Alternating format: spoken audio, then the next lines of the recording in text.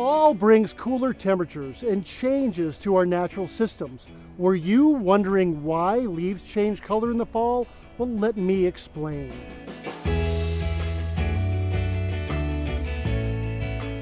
Hello, my name is David Stevens. I'm the curator of the Living Collection of Woody Plants here at the UW Madison Arboretum.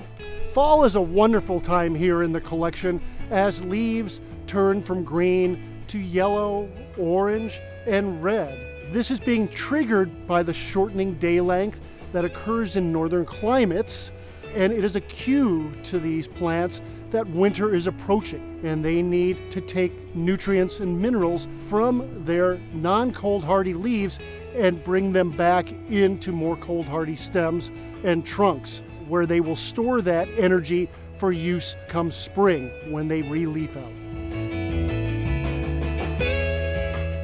The green we see in leaves is due to chlorophyll, which allows trees to take sunlight and convert it into energy. As days get shorter, leaves produce less chlorophyll, and we begin to see uh, the yellows and oranges due to carotenoids that have been in the leaves all summer long.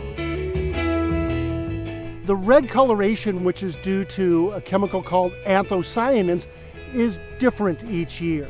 The intensity of it really depends on fall weather. If we have cool nights and sunny days, what occurs is sugars are still produced in the leaves during the day, and at night, due to the colder temperature, those sugars are slowed in their movement out of the leaves into the stems.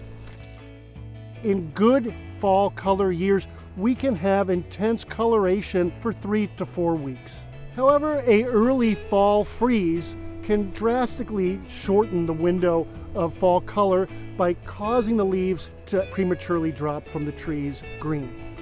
So the next time you're out looking at colorful foliage, you'll understand why it's unbelievable in the fall.